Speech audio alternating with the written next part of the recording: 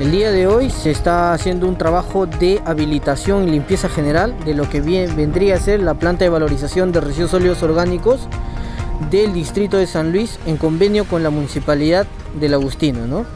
Un trabajo que se viene impulsando desde la comuna del distrito de San Luis ¿no? como parte de las políticas de autosostenibilidad que lo que pretende es optimizar recursos que generalmente podrían ser destinados al, este, a la disposición final de residuos que son procedentes del mantenimiento de las áreas verdes. ¿no?